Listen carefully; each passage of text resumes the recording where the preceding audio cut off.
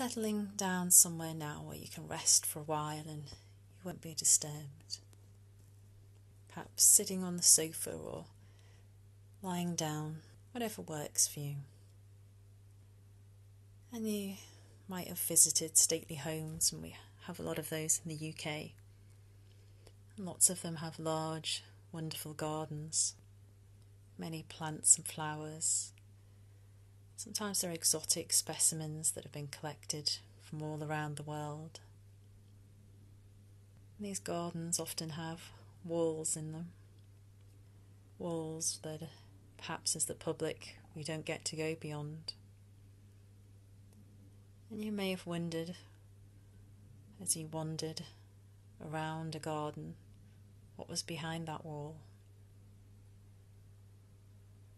And you can get a sense now of perhaps being in a garden that you've visited before, or perhaps a garden that you've always wanted to visit. Just getting a sense of that garden, perhaps shapes or colours, the scent of the plants and the flowers. Perhaps getting a sense of what kind of day, a crisp winter day or a cool spring morning or or a warm summer afternoon even. As you wander along the garden, you can take in the sights and the sounds, perhaps of bird life, or perhaps the sound of mowers mowing the grass, even the sound of children laughing as they play in the garden.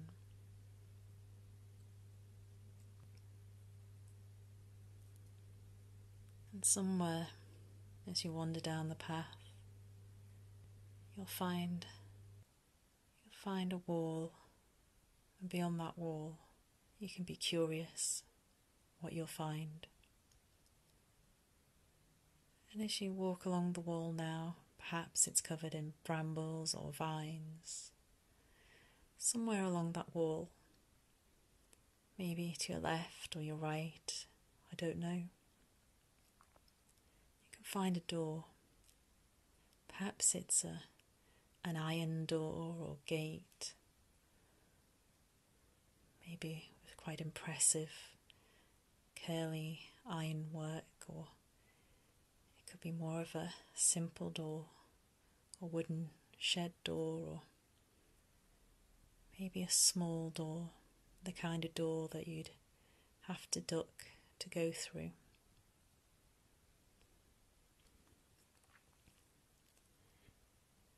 And when you find that door, I don't know if it will have a handle or perhaps it has a keyhole.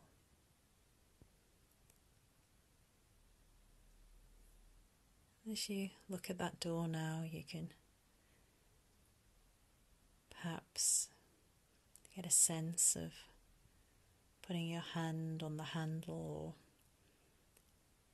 if it's a door or a gate that needs a key You can look around now and find the key perhaps under a rock or maybe even surprisingly in your pocket.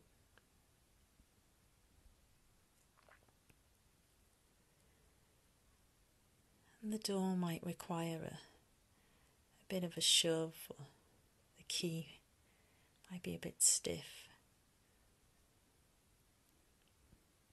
Because it's the kind of door that may not have been opened for a long time. A secret kind of door that people have forgotten about over time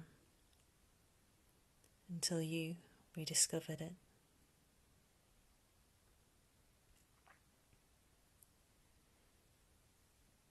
And you can open that door now, perhaps giving it a, a bit of a shove if it needs it, or wiggling that key in the lock stepping over the threshold now into that garden. And there are all different kinds of gardens, Japanese gardens are very ordered. Employ the principles of Zen. They often involve areas of fine pebbles that are combed into shapes, patterns. And in the springtime, I have wonderful trees covered in cherry blossom.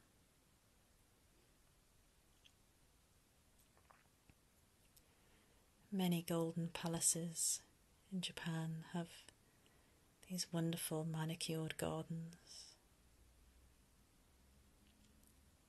There's a kind of a symmetry and a perfection to them.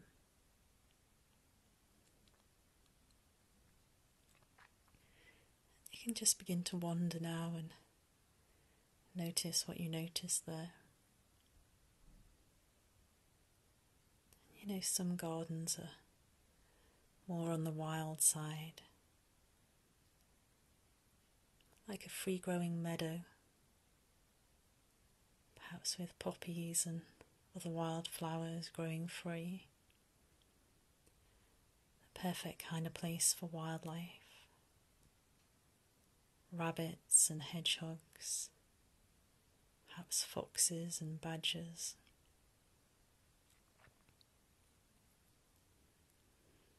Large, old, gnarly trees, their branches spiraling and twisting into the air, providing the perfect haven for squirrels and birds and insects.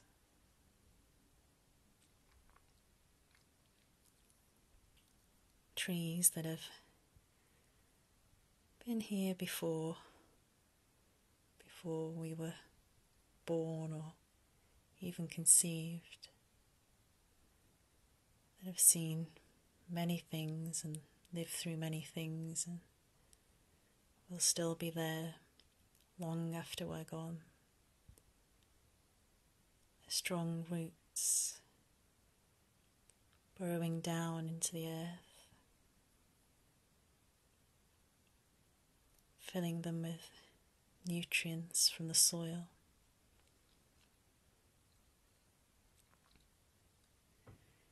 And you know what it's like to walk walk by the trees in the summer, hear birds singing. You know, there are certain times of day when the, you get shafts of light coming down between the green leaves.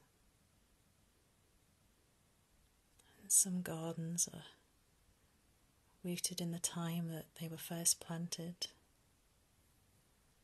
kept that way by dedicated gardeners.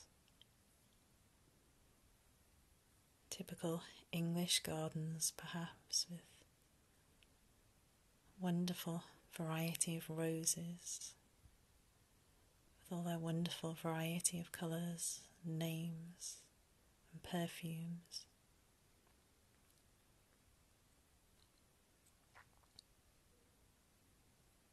And in warmer places, gardens tend to be more tropical, plants more exotic.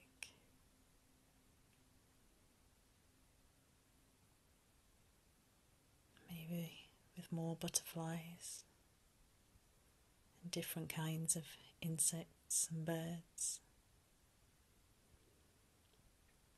And you can continue to wander through the garden, maybe even coming across a comfortable looking bench or seat. You might like to sit there for a while or continue to walk and explore.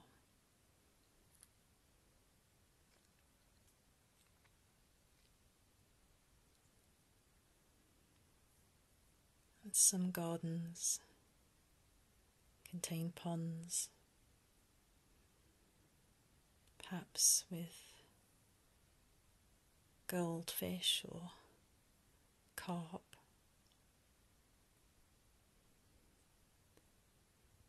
When you watch them swim, you can see their different colours and patterns, and the bubbles they make as they come to the surface.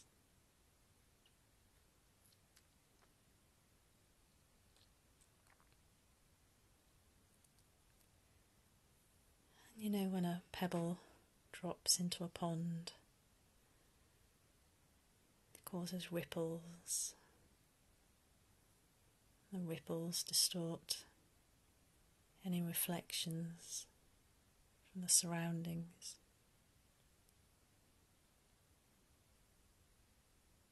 When the ripples fade, the surface of the water becomes smooth again just like a mirror, perfectly reflecting trees or the sky.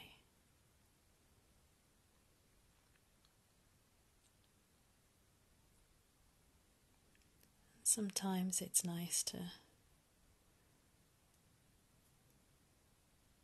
nice to find a patch of perhaps freshly mown grass, and just lie down for a while, taking in the smells of the grass, listening to the birds and maybe the bees, noticing butterflies flutter by.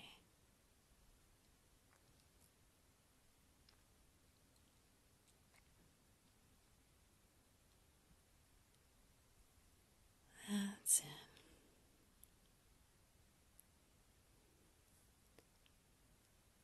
And just being in nature is just so good for us. Vitamin D that we get from the sun. And that sense of connection to all the life around us.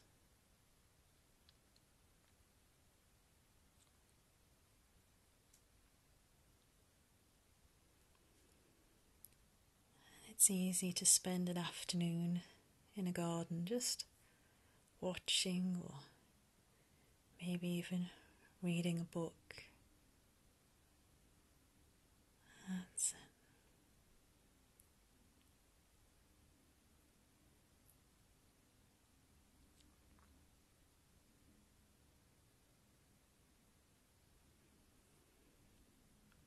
And of course, there are different sights and sounds in gardens at different times of year.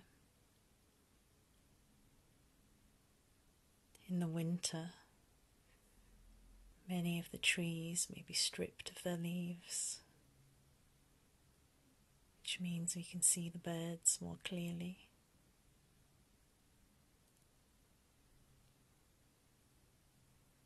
And in the autumn, maybe lots of brown, golden amber leaves on the ground, crunching beneath our feet as we walk.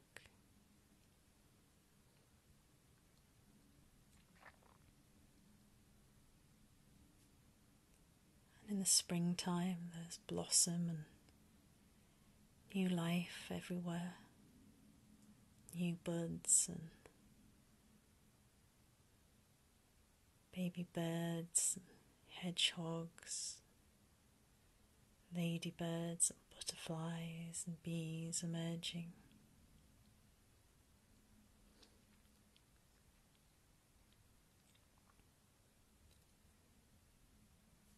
And in the summertime, it's so warm and full of life.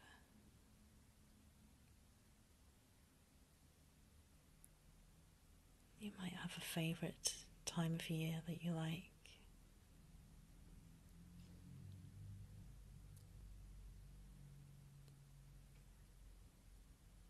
Gardens can have lots of features, perhaps streams, sculptures, maybe a vegetable patch to sow seeds and watch the vegetables grow.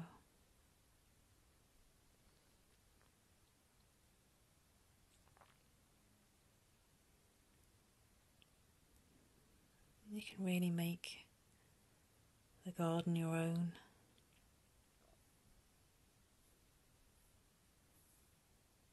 You can have a waterfall if you'd like, or particular kind of tree, maybe an apple tree or a conifer. You can arrange the garden to your own design, or you can just be curious to leave it and see how it grows and develops on its own. It's becoming more pleasing each time you visit.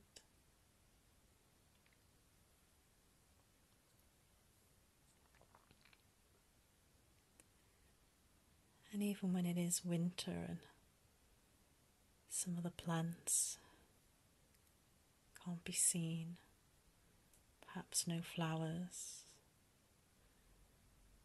they're just there, just beneath the surface, just waiting, waiting for the conditions to be right to spring up again.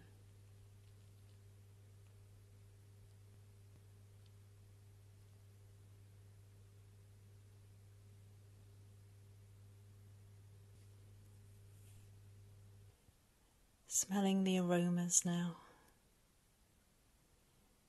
being aware perhaps of breeze on your skin or the sunlight on your face, perhaps hearing the rustle of the wind through the grass or the sounds of birdsong.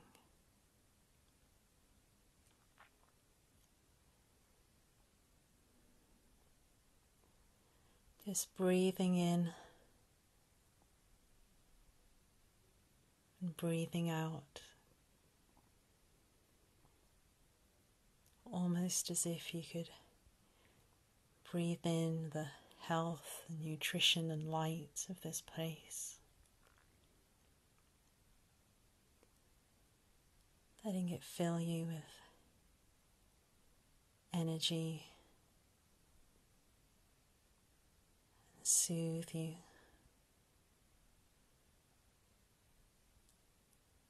From the top of your head to the tips of your toes. Breathing in the freshness.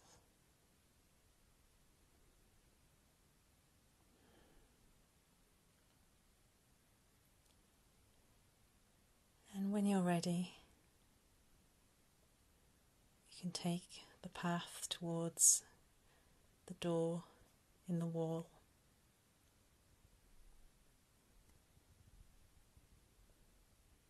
perhaps taking a different route back or returning the same way. Back through that door, out of the secret garden and into the main garden. Noticing the differences here. Maybe the plants are different, or the types of birds are different. Even the temperature could be different.